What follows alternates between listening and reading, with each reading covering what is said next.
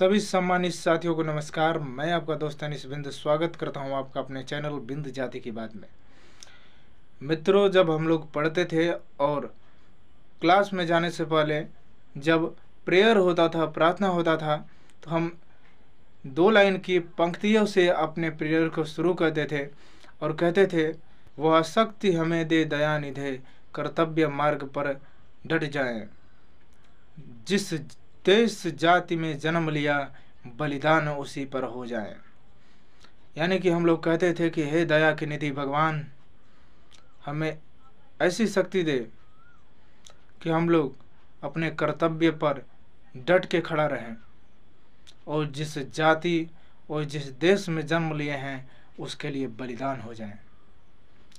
यानी कि हम लोग भगवान से प्रार्थना किया है कि हे ईश्वर, हमें ऐसी शक्ति दो कि अपने देश और अपने जाति के लिए बलिदान भी देना पड़े तो हम लोग बलिदान दे दें।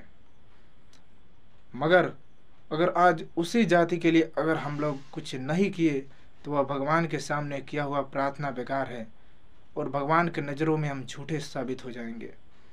इसलिए सभी बिंदु भाइयों से निवेदन है कि हम आप सबको बताने वाला हूँ कि इस पंक्तियों से हमें बहुत कुछ सीखने को मिला है और अपने जाति से इतना प्रेम करना है कि खुद पंक्तियों में लिखा गया है कि अपने जाति के लिए बलिदान भी होना पड़े तो बलिदान हो जाएँगे।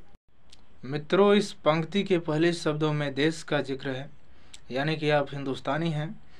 अगर आप कहीं जाते हैं तो कोई व्यक्ति आपसे कहता है कि पाकिस्तान आपका पड़ोसी देश है और पाकिस्तान को हिंदुस्तान का भाई कहा जाता है।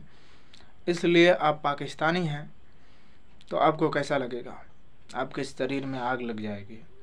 और वहाँ पर जो व्यक्ति ऐसी भाषा बोलेगा, उसको आप मारेंगे। इतना तो मैं क्लियर कर दे रहा हूँ कि आप उसको एकाध दो थप्पड़ और एकाध दो लात ज़रूर मारेंगे।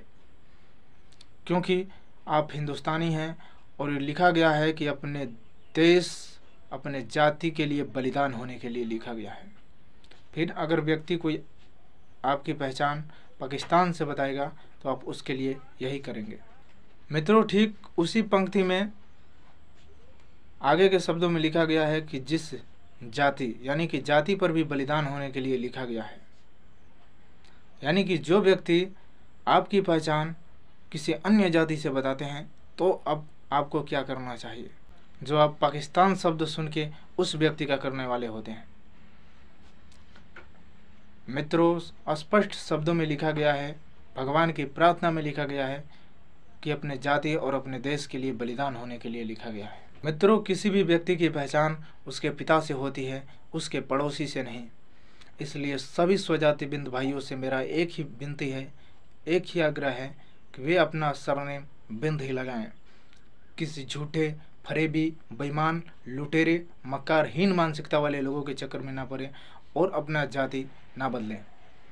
मित्रों, बड़े ही कड़वी बात है कि अपना जाति बदलना, यानी कि अपना बाप बदलना। तो अपना बाप ना बदलें अपने जाति की विरासत को संभाल के रखें, क्योंकि ये आपकी धरोहर है। आपके पूर्वजों ने आपको दिया है और अपने पूर्वजों की धरोहर को इस तरह से मिट्टी में मिलाना आपका काम नहीं है। आपके बाप दादा आपके पूर्वजों की विरासत को संभालना, जिस तरह से आप उनके धन, दौलत और ज़मीन जायदाद की विरासत को संभालते हैं, उसी तरह से उनके नाम की विरासत को संभालना है। दूसरों के चक्कर में नहीं पड़ना है और जय बिंदराज माँ भवानी हर हर महादेव का नारा लगाते हुए आगे बढ़ना है।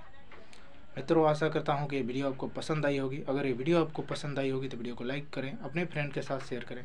मैं आपका दोस्त अनिश मिलेंगे किसी नए वीडियो के साथ, तब तक के लिए जय बिंद्रा